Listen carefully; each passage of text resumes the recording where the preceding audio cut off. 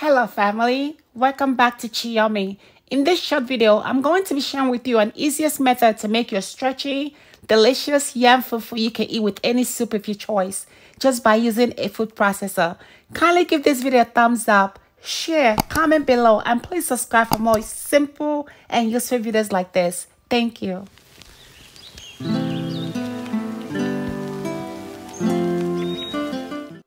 Be sure to always wash your yam thoroughly to get rid of any dirt before slicing.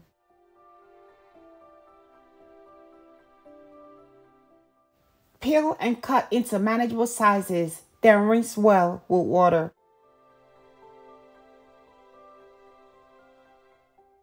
In a cooking pot, add enough water to cook the yam, then gently place the yam to the pot.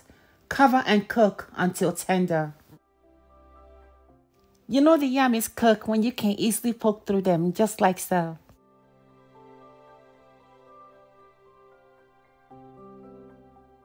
Carefully drain off the water and gently place into the food processor. Blend at a medium speed until it's well blended and nicely combined. Another trick is add a little cooking oil to the food processor while blending to give you a nice non-stick finish look. As you can see guys, this is the healthiest, tastiest and more affordable way to make your pounded yam for those of you who have checked the price and all the preservatives added to the store-bought ones.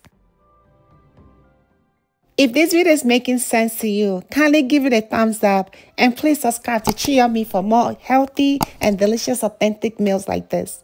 Comment and share this video to everyone. Ciao.